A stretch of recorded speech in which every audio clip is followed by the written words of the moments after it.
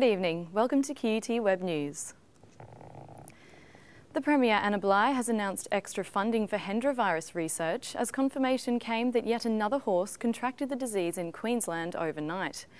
The extra funds are part of a general funding response by Queensland, New South Wales, and the federal government.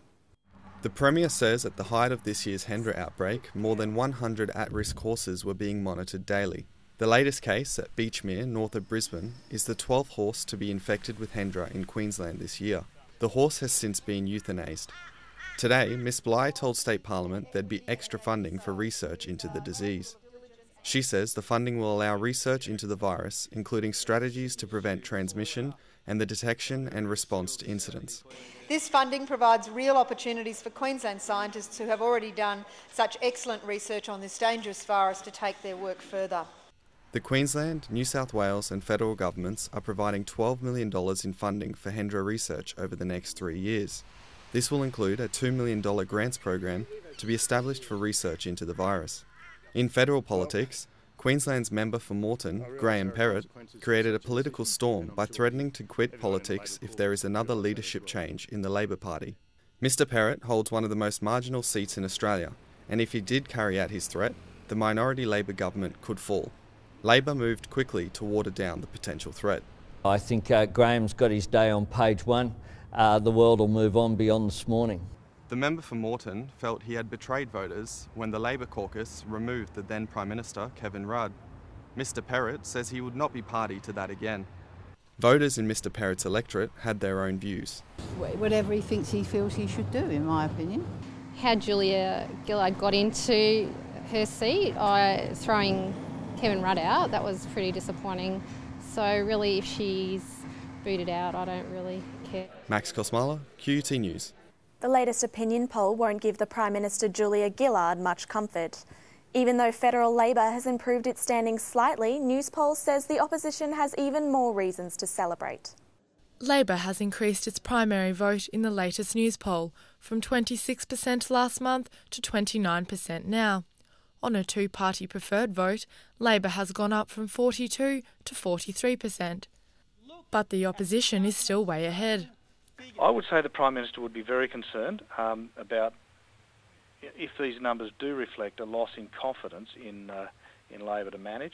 Certainly, they'd have to be worried that um, you know they're not winning on the issues they've chosen to fight on. The latest Newspoll shows the coalition leading or equaling the government on key issues for the first time. The coalition's also overtaken Labor as the best party to deal with climate change.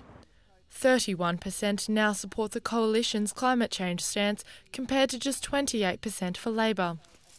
It's more than just what's happening in climate change, it's about overall um, people's confidence in the government to manage these issues. But that particular one um, seems to have an explanation in that. The poll also shows that voters believe the coalition is better equipped to manage the economy. The parties have equal support for health issues, while Labor leads in education by 3%. The coalition leads Labor on national security issues by 11%. Labor has had a boost regarding asylum seekers from 12% last month to 17%, but the coalition has returned to its record support of 44%. The coalition is winning the homeowners' votes on interest rates at 45%, while Labor is at 26 and Labor remains in the lead on industrial relations at 39% to 35%. Melissa Hunter, QUT News. Cricket Australia is promising to look into allegations about match fixing by Australian players. But the sport's governing body says they're outlandish and of dubious repute. Former journalist Mazher Mahmood has told a British court he posed as a businessman prepared to pay to have a cricket match fixed.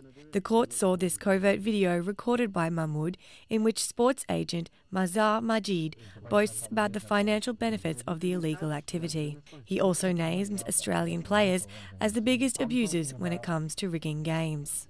I'm talking about big money can be made, yeah? Majid is seen here accepting £10,000 from Mahmood in exchange for detailed information about a test match against England. And I'll tell you which, which uh, bowler is going to do it and which ball is going to do it. Cricket Australia has dismissed the allegations against its players but says it will investigate. Elizabeth Mulheron, QUT News. The Brisbane City Council opposition says the council should be doing more to protect shoppers and commuters from the increasing costs of parking. The call follows moves by Westfield's Chermside and Carindale stores to charge shoppers to park.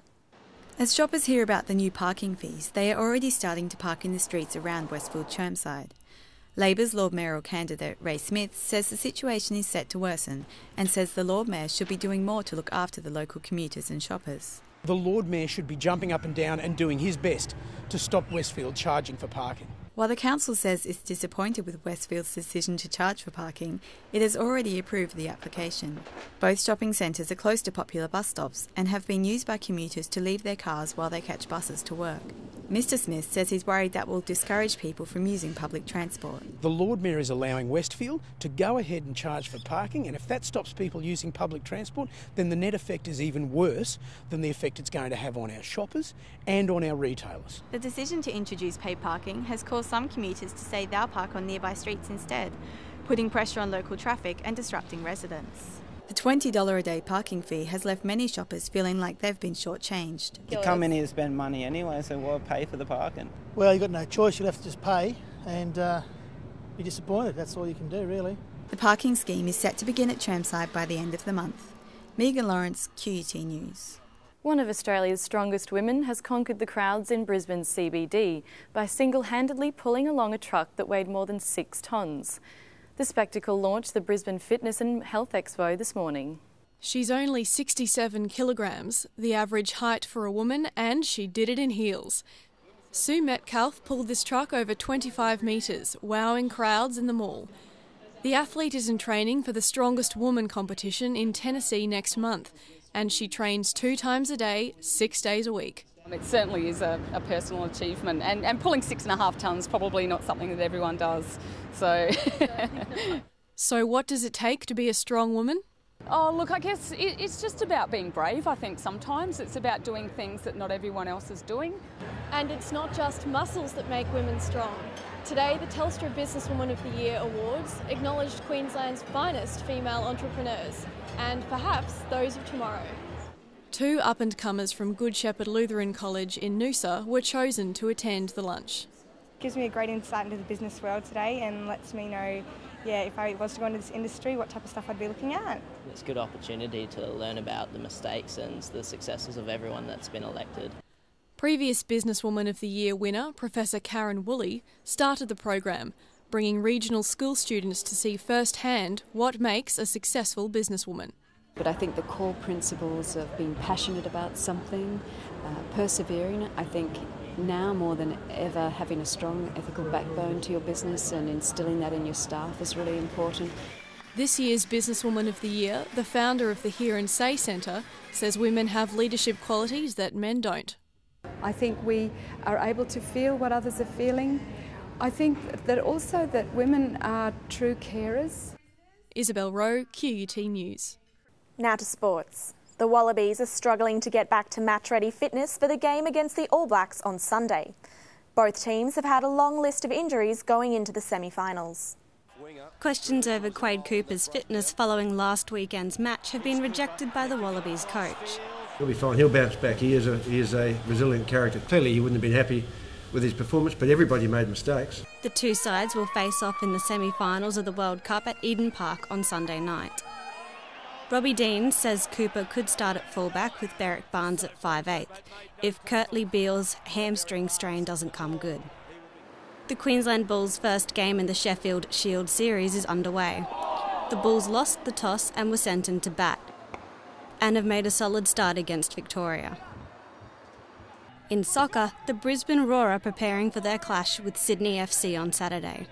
Recent Sydney recruit Brett Emerton could be a major threat. I think it's been fantastic that Emo's come back now, and same with Harry. You know, it just just gives a lot of excitement to the league, and as players, that's what we want. Given their premier title, the Roar are keen to prove themselves this year, particularly in their next game. Sydney's traditionally a big big club in this league, so so it's it's a great challenge for us to go down there as as champions and, and play on their home pitch and hopefully get a good result. Meanwhile, the Australian men's gymnastics team has failed to qualify for the London Olympics. They needed to finish in the top 16 at the World Championships in Tokyo, but fell two places short, ranking 18th. Sarah Honan, QUT News. Time now for a look at the weather. It's been quite a warm day around the state, with temperatures hitting around the 26 degree mark in the southeast. From our special time lapse skycam, we started off with clear skies today until about midday. After that, some medium level cloud cover rolled over the city. Taking a look at the weather around the nation tomorrow, Brisbane should have a late shower with a top of 26. Sydney will be mostly sunny and 20, and Canberra will have some frost before a top of 18 degrees. Melbourne should be mostly cloudy and 19, and further south, Hobart may see some rain with a top of 15 degrees. As we head west, Adelaide will be mostly sunny and 21.